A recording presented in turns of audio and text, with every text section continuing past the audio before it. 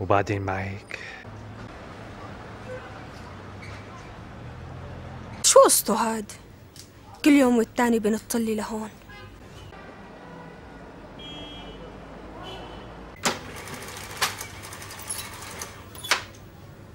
باينته ابن نعم. يا حسرة علي.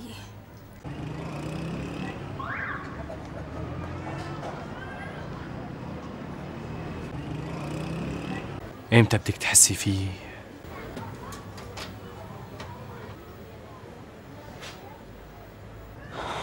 اليوم آخر فرصة لإلك.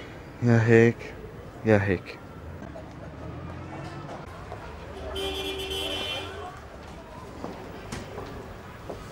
مرحبا ريحان. عم أقول لك مرحبا. المرحبا انقطعت بيناتنا من زمان. ما انقطع شيء كله بيتصلح. اللي انكسر ما بيتصلح. إيه وأنا جاي لصلحه أنت حكيت معي على الموبايل وقلت لك أنا مستحيل أرجع لك. بقى احمل حالك وامشي. ما راح أمشي قبل ما تسمعيني. شاكر هذا محل شغل. إيه طيب اطلعي معي نحكي برا. لا رح أطلع معك ولا رح أحكي معك. يا بتطلعي معي من تم ساكت. يا بعمل لك فضيحة بالمحل وبخليكي فرجها جاييني سكران كمان؟ اطلعي معي بالتي هي أحسن. رح أعد لثلاثة وإذا ما بتطلعي بدي كسر المحل كله على راسي. واحد. بعد بعد. سعاد عدي محل الكيس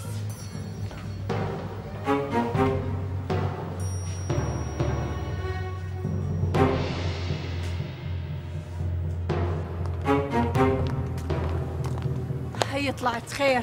وطي صوتك ولا فضايح لك انت شو بدك مني؟ ما حشتك اللي عملته فيني؟ إذا بدك تكوني عصبية ما رح نفهم ليش مين قال لك إني أنا بدي أتفاهم معك؟ نحن اتطلقنا وخلص افهمنا بقى. تليفونات ممكن أتحملها. كمان تيجي على محل شغلي؟ إيه لو بتستقبلوني عندكم بالبيت كنت إجيت وبست إيدك وإيد أمك وأبوكي واعتذرت. والله لو شعلت لي العشرة. نحن اتطلقنا وخلص أنت اللي طلبتي الطلاق. بعدين أنا وقت وافقت وطلقتك كنت سكران. مو دريان باللي عم يصير حوالي. وكيلك الله يا رحاب بعد ما فت من الصدمة ما عاد تعرف الليل من نهار المهم أنا صرت أعرف الليل من النهار. رحاب بتعرفي قديش بحبك؟ قديش قتلت الدنيا كلها لاخذتك إيه؟ وخبيت عني إنك بتشتغل يوم بتقعد على الطال عشرة. لك بالأربع أشهر اللي عشناهم مع بعض اشتغلت أسبوع على بعضه؟ كان جسمي تعبان. طبعا. وقت اللي بدك تشرب صبح وظهر ومساء وصبح وظهر ومساء بده يتعب جسمك وعقلك كمان. إيه وليكني هلأ من شأنك بطلت المشروب صار لي خمسة أيام ما دقته. هذا معناته إنه خلص خلصت منه. وأنا خلصت منك. انت شوف حياتك وأنا بشوف حياتي. لك بس أنا تغيرت. لك اعطيني فرصه لك وجربيني أخي أنا ما عاد بدي إياك. لو طوبت لي الدنيا كلها. يعني مصرة تذليني مصرة تنتقمي مني. انت عم بتذل حالك. أنا رايحة على المحل. لهون بتعرفي إذا ما رجعتي لي ما رح خليكي تتهني بعيشتك. ورح ضل فوق راسك لتموتي وإذا قرب رجال عليكي رح اقتلك وقلت له إيه، روح روح تعالي لهون شو رأيك سوي يا أخي؟ لا دخل بدك تشوينا وشها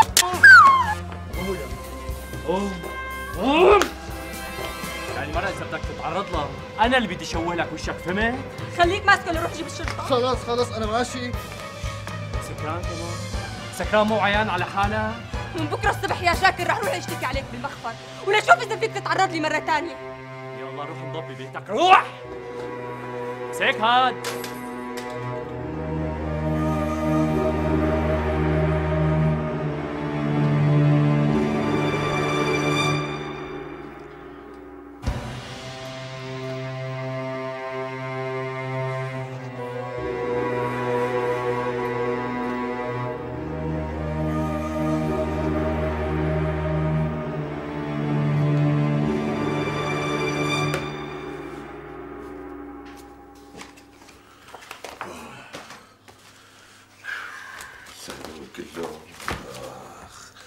بس لازم يخلصوا طيب بركي ما خلصوا. شو رح يقطعوا راسي يعني؟ يا هيك الشغل يا بلا.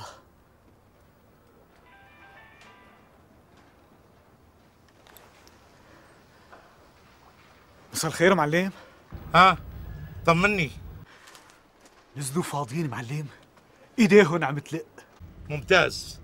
معناتها الشنطة صفيت بالخزنة بتخبر الشباب يجهزوا حالهم ويكونوا على الموعد بالدقيقة. كل واحد بيعرف مهمته. وانت بدي اياك تراقب على الملي وخصوصا عباس. هذا جديد علينا. وأنا الزلمة إذا ما قعدت معه ونكدتك راه اعرف معدنه ما بكون مطمن. عباس عندي معلم. أبو ضاي وعلى كيفك. لا تعكل هم آه بتذكر الشباب لما يطلعوا ما يحملوا معهم هويات ولا اوراق ولا أي ثبوتيات. معلم أنا فهمتهم كل شيء. لا تقلق. وينك؟ ما بدنا أي غلط. وإذا بتحس بأي شيء مريب فورا بتعلم لهم على الموبايل مثل مو متفقين. وبتخبرني شو عم يصير أول بأول. لا تاكل هم معلم. تربايتك. طيب مع السلامة. خف لي رجلك شوي تأخرنا على الحفلة بدنا نودي المصاري على المكتب بطريقنا.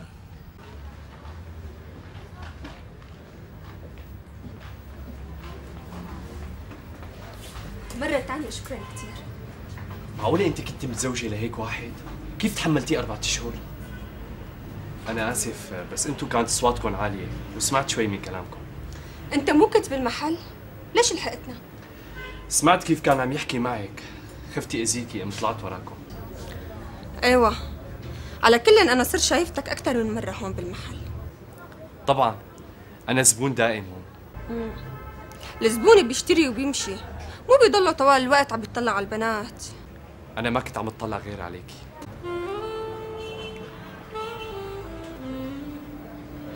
أنتوا إمتى بتسكروا السوبر ماركت؟ الساعة تنتين بالليل وأنا اليوم مناوبة. بدك تضلي هون للساعة تنتين؟ طيب على كل هي آه، كرتي فيه رقم الموبايل ورقم الفيلا. أنا اسمي فؤاد الأزهري. إذا احتجتي شيء فأنا بالخدمة. إذا حل عني ما رح أحتاج لشي. طيب بركي ما حال عنك. أنا بعرف شاكر منيح. إذا اشتكيت عليه تليفون ما عاد يسترجي يدق لي طيب على ذكر التليفون آه، فيني آخذ رقم موبايلك؟ موبايلي لا. بس رقم المحل تكرم عينك. تفضل. إيه؟ أمري لله تفضل. لازم هذول الجداول يكونوا ببيتي قبل الساعة واحدة. لأنه الساعة واحدة وخمسة بنام. لازم سافر بكرة بكير. ولازم يكونوا معي. نومي بلا فيقة إن شاء الله.